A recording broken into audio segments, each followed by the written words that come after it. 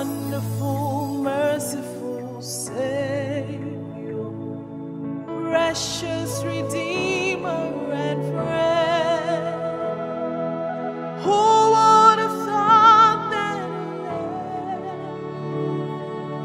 rescue the souls of men?